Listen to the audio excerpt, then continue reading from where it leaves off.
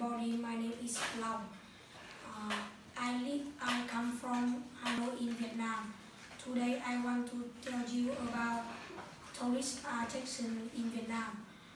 Vietnam is the is uh, the, a beautiful country, so it has many uh, to, tourist attractions. One of the many tourist attraction is Ha Long Bay.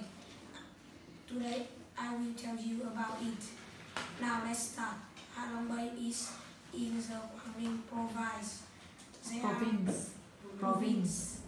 there are many caves and uh, islands in Ha Long Bay, such as the Go Caves, uh, Monkey Island, blah blah. etc. etc. Yeah, etc. Uh, it's far uh, 155 kilometer uh, from to Vietnam, From uh, from to Hanoi, no, it is how how far is it? uh, 155. So it is 155 kilometers far from Hanoi. Uh, it's waterway 3 kilometer Kilometers. kilometer to the west, about uh, three, three, three square kilometers.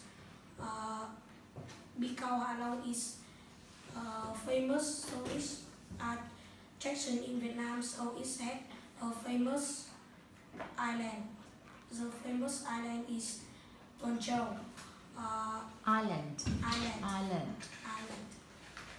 It is the biggest uh, island in Ha Long Bay. It has it has named it because of the pairing of two words Tuân and Chi Châu such the because Ha Long is in the sea so you can eat many delicious many Vietnamese seafood. Uh, it's very uh, good for your health and delicious uh, at Long Bay, uh, you can uh, you can watch traditional dance. You Dance. can Dance. And you can do many activity in Ha Long Bay. Ha Long Bay is the most beautiful